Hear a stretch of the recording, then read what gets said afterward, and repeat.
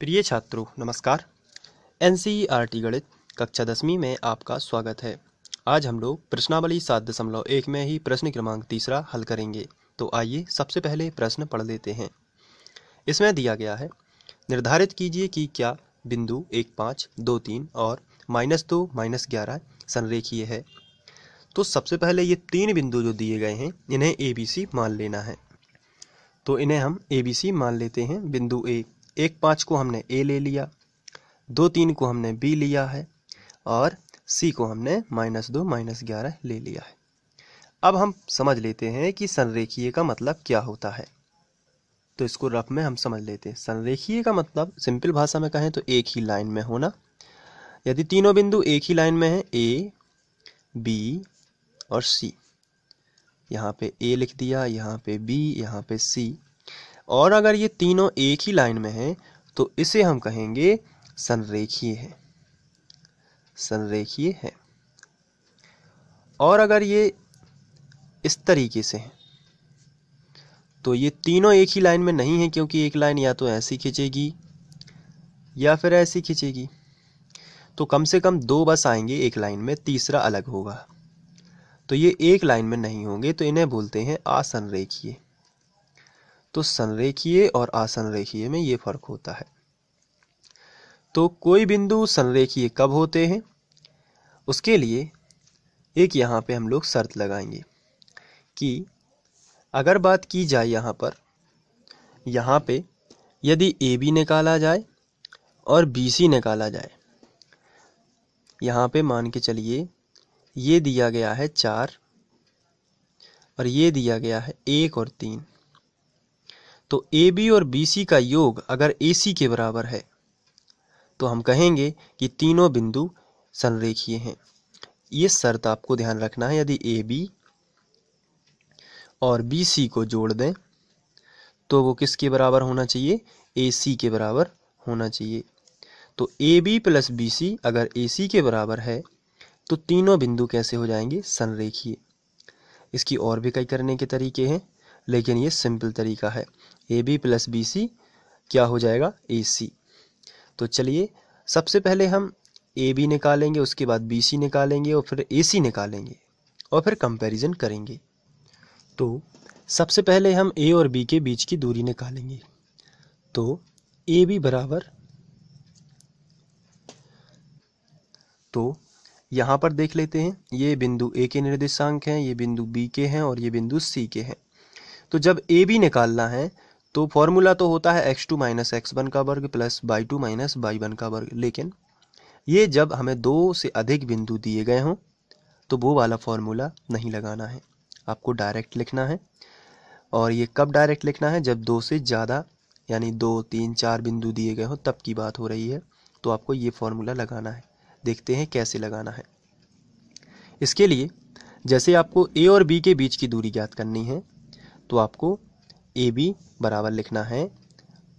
इसमें से पहले नंबर में से पहले नंबर का घटा देना है और दूसरे नंबर में से दूसरे नंबर का घटाना है। यानी एक्स में से एक्स घटेगा बाई में से बाई घटेगा। तो चलिए देखते हैं। तो अंडर रूट तो सबसे पहले लगेगा। तो ये अंडर रूट तो हमने सबसे पहले लगा लिया। अब यहाँ पे देखते हैं। हमें निकालना है ए बी। तो दो में से एक घटाना है। तो दो माइनस एक और वर्ग लगना है ये। ये फॉर्मूला में होता है वर्ग प्लस तीन में से आपको पाँच घटाना है। तीन माइनस पाँच। तीन माइनस पाँच और यहाँ पे वर्ग लगा देना है।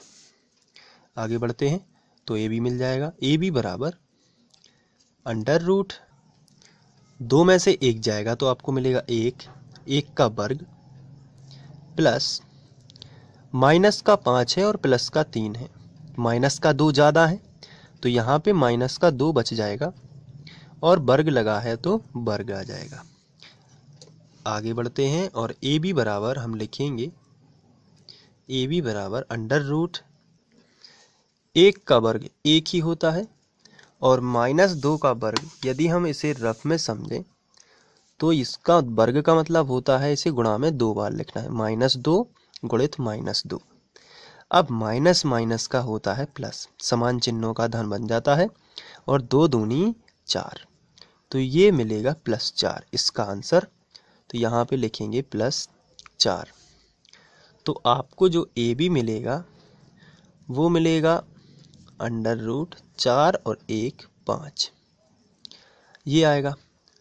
तो यहाँ पे हम मात्रक लिखेंगे, कुछ भी आ सकता है या इकाई भी आप लिख सकते हैं। तो आपने ए बी निकाल लिया है। अब आपको निकालना है बी सी।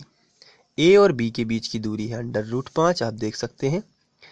अब हमें बी और सी के बीच की दूरी निकालनी है तो आइए बी और सी के बीच की दूरी भी निकालते हैं। तो यहाँ पर लिखना है इसी प्रकार, बी सी बराबर, अंडर रूट। अब यहाँ पे देखते हैं, ये बी सी तो फिर से वही चीज़, पहले नंबर में से पहले नंबर का घटाना है, यानी कि ये x2 है और ये x1 है। तो इसको ध्यान नहीं रखना है जब दो से अधिक बिंदु दिए हों। तो पहले नंबर में से पहले नंबर का घटाना है और दूसरे नंबर में से दूसरे नंबर का घटाना है। तो माइनस दो माइन माइनस दो सबसे पहले ये लिख लेते हैं। माइनस दो। बीच में माइनस लगता ही है और यहाँ पे लिखा है दो। तो ये आ जाएगा दो और वर्ग लगा देना है। प्लस, अब यहाँ पे आपको देखना है दूसरे नंबर में से, दूसरे नंबर को घटाना, यानी माइनस ग्यारह में से आपको घटाना है माइनस तीन। तो यहाँ पे आपको लिखना माइनस ग्यारह है, माइनस तीन और वर्ग लगा देना है इस तरीके से। इसके बाद आगे बढ़ते हैं तो आएगा बी सी बराबर अंडर रूट माइनस दो और माइनस दो, माइनस का हो जाएगा चार, और वर्ग लगा है तो वर्ग। प्लस माइनस ग्यारह है और माइनस तीन तो ग्यारह है और तीन जुड़ेंगे तो माइनस का हो जाएगा चौदह और वर्ग लगा है तो वर्ग।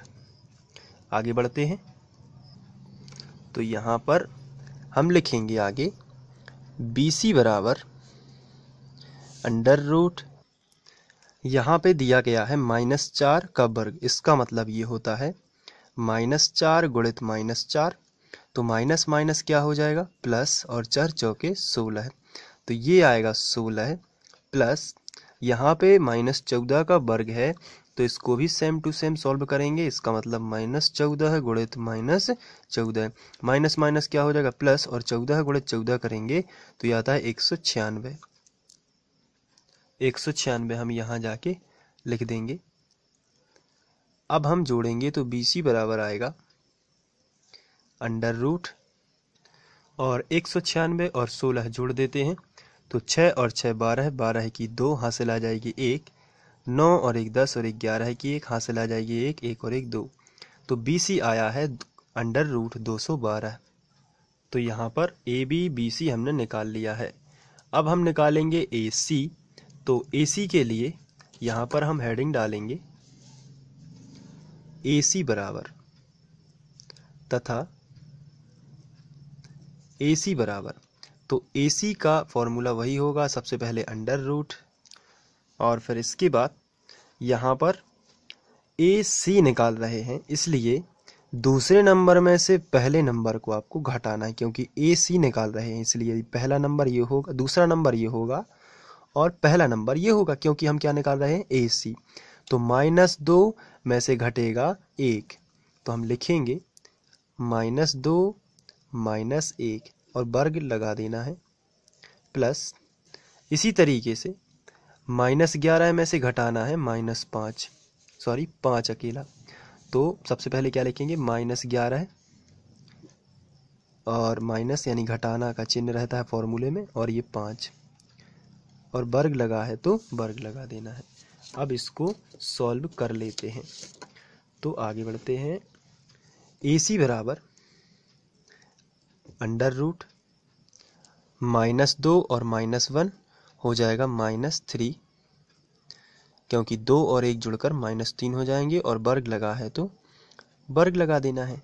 प्लस है तो प्लस माइनस ग्यारह है और माइनस पाँच। तो इसको जब आप जोड़ोगे तो ग्यारह है और पाँच दोनों को जोड़ देना है।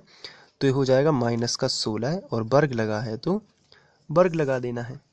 आगे बढ़ते हैं। तो ए सी बराबर आपको मिलेगा अंडर रूट माइनस तीन का वर्ग है, इसलिए हम यहाँ पे लिखेंगे माइनस तीन गुणित माइनस तीन, माइनस माइनस का प्लस और ती का नौ। तो यहाँ पे आएगा नौ प्लस यहाँ पे माइनस सोलह का वर्ग है, इसका मतलब माइनस सोलह गुणित माइनस सोलह हो जाएगा, माइनस माइनस प्लस, और सोलह गुणित सोलह करेंगे तो ये आएगा दो सौ छप्पन। तो यहाँ पे हम लिखेंगे दो सौ छप्पन। अब हम दो सौ छप्पन और नौ जोड़ लेते हैं तो ए सी बराबर आएगा अंडर रूट दो सौ छप्पन और नौ दो सौ पैंसठ। तो ये ए सी आ गया है। अब यहाँ पर हमने ए बी बी सी और ए सी ए या ए सी निकाल ली है। अब हम देखते हैं कि यहाँ पर ए बी सी यदि एक ही रेखा पर हों तो ए बी और बी सी ये दोनों का योग ए सी के बराबर होना चाहिए। इसका मतलब ये है कि ए बी और ए बी और बी सी को यदि जोड़ दिया जाए तो ये किसके बराबर होना चाहिए? ए सी के बराबर होना चाहिए टोटल तो ये संरेखीय होने की शर्त है। तो आइए देख लेते हैं। तो यहाँ पर हम लिखेंगे संरेखीय होने के लिए, संरेखीय होने के लिए A B plus B C A C के बराबर होने चाहिए। तो A B plus B C बराबर होनी चाहिए ए सी तो ए बी देख लेते हैं कितना है। तो इसके लिए हमें ऊपर जाना पड़ेगा और ये ए बी है अंडर रूट पाँच। यहाँ पर हम लिखेंगे ए बी तो है अंडर रूट पाँच प्लस बी सी देख लेते हैं कितना है। बी सी अभी निकाला है, करणी दो सौ बारह है अंडर रूट दो सौ बारह है। यहाँ पर लिखेंगे अंडर रूट दो सौ बारह ए सी देख लेते हैं कितना है अंडर रूट दो सौ पैंसठ। तो ये देखिए, ये दोनों बराबर नहीं है। तो यहाँ पर लिखेंगे जो कि सत्य नहीं है। जब ये सत्य नहीं है अतः तीनों बिंदु संरेखीय नहीं है तो कैसे होंगे असंरेखीय? तो ये तीनों बिंदु संरेखीय नहीं है। तो इस तरीके से आपको इसे सॉल्व कर लेना है, और आप चाहें तो इसे नोट भी कर सकते हैं, और इसके लिए मैं आपको स्क्रीनशॉट यहाँ पर आप ले सकते हैं, ये या वीडियो को पॉज करके नोट कर सकते हैं अपनी कॉपी में। तो इस तरीके से इसके बाद बी के बाद आप यहाँ से नोट कर लीजिए, और इसके बाद आप इसको यहाँ पर नोट कर सकते हैं। तो ये हो गया प्रश्न क्रमांक तीसरा, सात दशमलव एक का। इसके बाद आगे बढ़ते हैं। Thank you